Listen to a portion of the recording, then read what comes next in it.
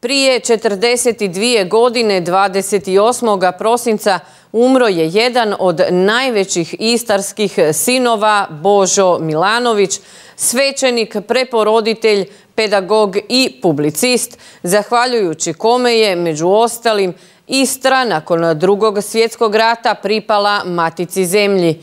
Vrijeme je za našu rubriku na današnji dan. Božo Milanović rodio se i odrastao u narodnjačkoj katoličkoj obitelji. Obrazovanje je započeo u rodnoj knjigi, a nastavio u Carsko-kraljevskoj hrvatskoj gimnaziji u Pazinu, te se uključio u pokret katoličke mladeži. Kako se navodi u Istrapediji, iako su ga privlačile prirodne i tehničke znanosti, poslije čak prijavio i patent električnog komutatora, nakon mature opredijelio se za studij teologije u Gorici, za svećenika je zaređen u Trstu 7. srpnja 1914.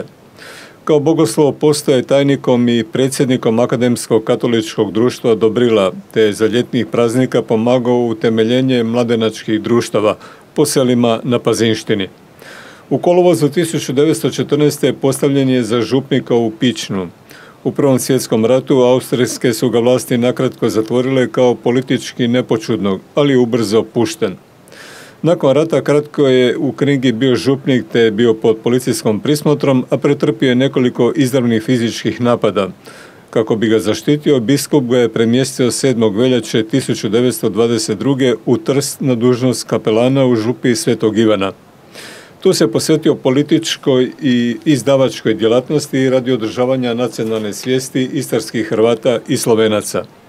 Bio je glavni pokretač društva Svetog Mohora za Istru, te je sa suradnicima pridonio očuvanju istarskog identiteta između dvaju svjetskih ratova, u vrijeme kad je fašistička vlast nastojala posve izbrisati hrvatske i slovenske nacionalne osjećaje.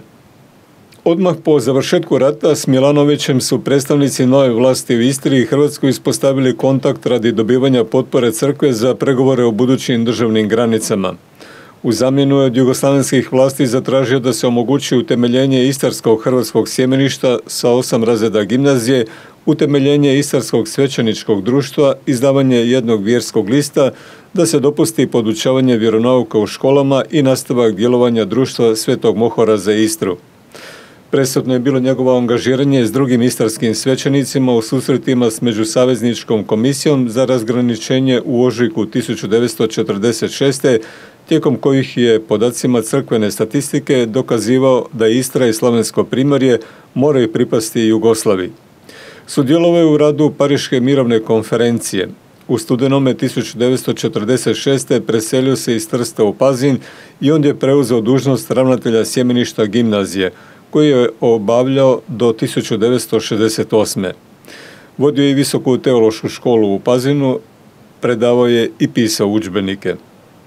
Autor je nekoliko povijesno-publicističkih knjiga o novijoj povijesti Istre. Dobio je više državnih odličja, počasni naslov prelata njegove svetosti, te počasni doktorat Zagrebačkog teološkog fakulteta.